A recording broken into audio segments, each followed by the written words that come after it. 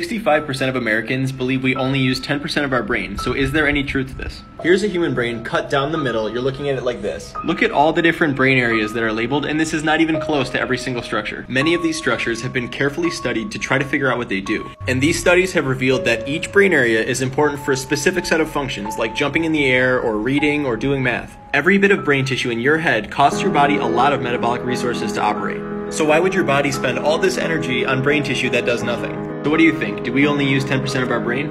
Of course not. We use the entire thing.